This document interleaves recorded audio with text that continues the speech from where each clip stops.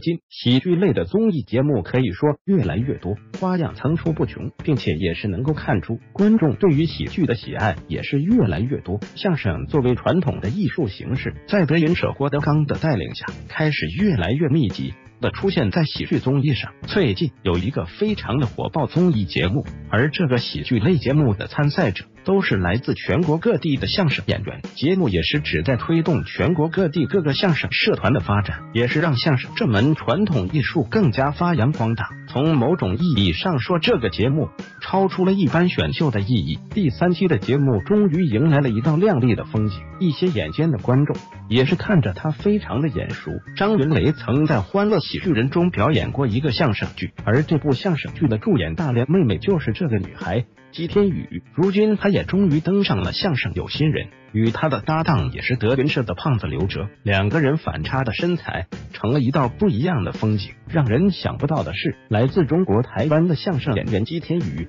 已经学了十年相声了。他的师爷是侯宝林大师的弟子吴兆南先生，而赵辈分他管郭德纲叫师伯。就在今年的大年初一，郭德纲导演的十九代祖宗上映，这部云集了众多实力派演员的喜剧贺岁电影，姬天宇小姐姐也有参演，在张国立的真。所里有这么一个对自己外表不满意，明明大眼有神，还要开眼角的美女。相声有心人的舞台上，一语相声小道而有大观，进度修业不辱师门。短短十六个字，让观众们对这位女孩留下了深刻印象，更是对师道传承有了直观的感受。从其微博中不难发现，齐天宇关注最多的还是德云社的众人。相声有心人出播时，还在帮老郭宣传，可见其对师伯的敬佩。生活里，姬天宇一颗少女心泛滥，处处透着萌萌哒可爱。姬天宇被称为相声界的林志玲，除了原本的相声演出和主持之外，他还是一位专业的演员，特别是古代装扮优雅。